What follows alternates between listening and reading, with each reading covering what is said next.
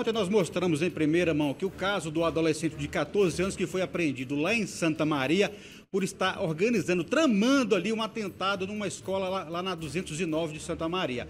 Acontece que, durante a investigação da Polícia Civil, os agentes verificaram que tudo não passava ali de uma farsa. O adolescente queria apenas se exibir nas redes sociais, querendo se passar por bandido perigoso. Para isso, ele conseguiu uma arma que é do avô, o avô já é falecido, tinha uma arma de fogo, ele conseguiu ter acesso a essa arma e tirou algumas fotos com esse armamento postou essas fotos, fazendo ali ameaças, divulgando esse suposto plano desse atentado a essa escola. Mas para a polícia tudo não passa de exibicionismo. Há suspeita, inclusive, que ele fez isso para aparecer, para tentar se passar de bandidão, Brunoso, para uma namorada. É um detalhe que a Polícia Civil está apurando.